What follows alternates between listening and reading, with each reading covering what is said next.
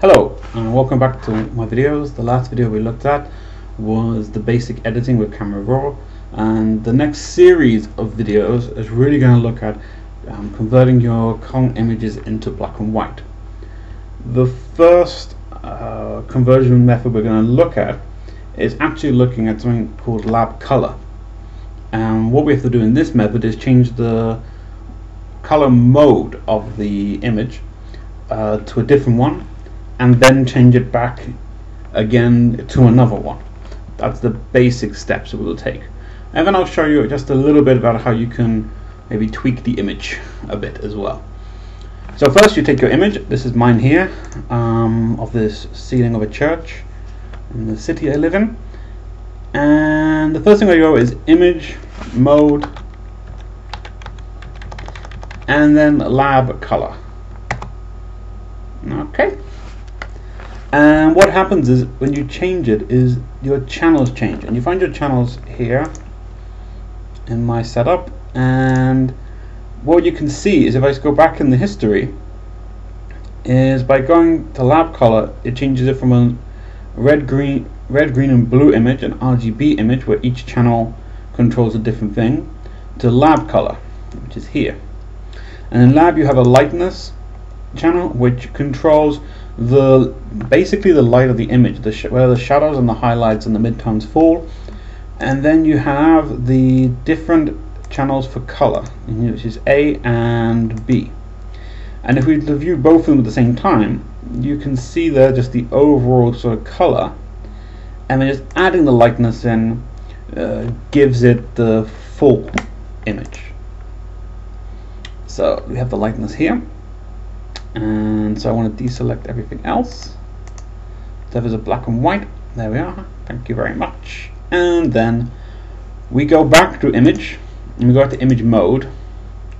And this time we send it to grayscale. Now should flatten the layers and discard the channels. And that's where we go. And in grayscale you only have one channel which is gray. And so I'll bring it back. So that's the basic conversion. Now in grayscale what you can do is you can add um, other layers on top as you're editing but you can't add any more color. Because uh, for example if we were to have the image back as a RGB image which is just done it? Yep. You could then just go layer new fill layer solid color and then just choose a color. I'll just choose, let's try and choose like a more sepia-ish tone, quite a bright sepia-ish tone. And then you go overlay, and you can have a you can have a bit of color in your image. You probably want to turn that down a little bit. But in grayscale you can't do this. So I'm just going to go back a minute to the grayscale image. And this time, if you go to layer, new fill layer, solid color. We go the exact same way as we did a minute ago. And I choose that similar tone again, as well that. You get nothing. It is really just a, a gray or the tone, the black and white tone of that color. Now this can be extremely useful um, you can take advantage of this. Uh, if you want to have, for example, you're going, oh, it's a look a bit, mm, I want something, I want an overriding tone for the image. You could just go to your color picker and so I think I quite like this gray here. Select it. This is the number for the color. Cancel what I just did there is I double clicked here and I've just taken that number and I've copied it.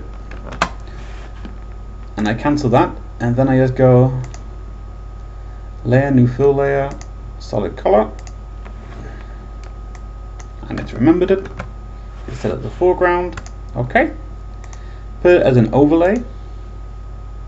Now you can control how much effect that has on the image what is the great thing about using the layer adjustments is that what you can do is go, oh no, it's not quite right. You know, maybe it'll need a bit darker. You can just drop it down darker and go, okay, oh, that's actually, look at that. Just being a bit darker there.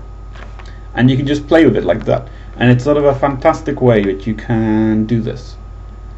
Instead of, and oh my goodness, you know, deleting layers and then making a new layer and then getting the paint tool, which is the other way you could do it, which is like new layer, paint tool, drop it in on top, and change the overlay.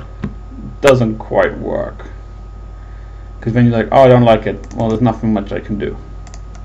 So you can just delete that, put that in there. So we like we like quite the original. I quite like that. Okay. And so from here on in, you can just edit your picture like you would normally edit it. So I would then just go to my levels. Careful, so some clipping. Uh, I will talk in another video about these gaps here. They're a little bit annoying. In your histogram, let's just play around. I don't really like that. I quite liked it.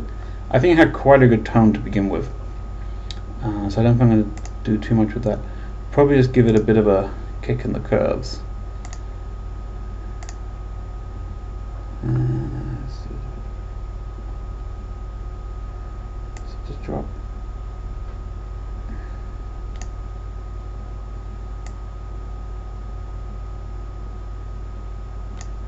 Give it a contrast.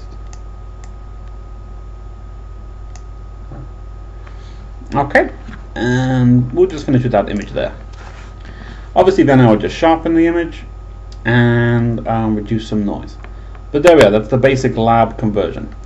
I uh, hope you enjoyed the video. The next video we're looking at using the channels to change the image from a color image to a black and white image. I'll put this on my this picture on my blog along with the video. Thank you very much for watching and I hope to catch you next time. Bye bye.